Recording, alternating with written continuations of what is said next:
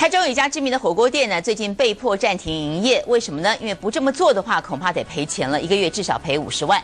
主要是因为台中市政府在做一个工程，绵延三公里，所以原本是停车格的地方全部围起了铁围篱。当然，这个对客人来讲，停车不方便，没有地方停就不想来吃。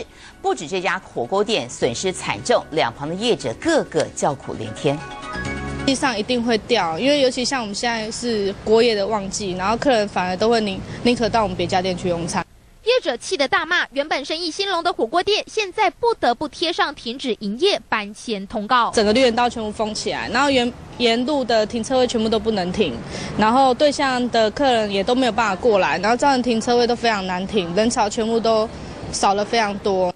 中部这家知名火锅店在八月封路后，营业额掉了七成，硬撑了三个月，每个月损失高达五十万元，决定搬迁，等到工程结束再复业。就因为这个施工，前方车道缩减一半，路边停车格没了，客人难停车，不愿再上门。临近没有停车位，其实很多客人就就不停车，他就离开了。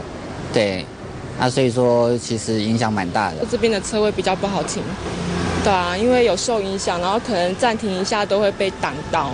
是什么工程搞得民众怨声载道？原来是否要复制日本表三道精神，建造草悟道？其中这条延伸三公里长的铁马道工程，涂掉停车格，间接影响到店家生意。是否在八月动工后盖起铁围篱？这才发现中间人行道属于国有地，暂停工程，与地主科博馆协调，九月才复工，整整一个月没动工，照常围起篱笆，业者生意受到影响，连带影响到居民的生活品质。是这样施工上面。的话就是还蛮吵的，就像我们坐那边住，都一直反映说这边就是很就很杂吵，就可能想要搬家。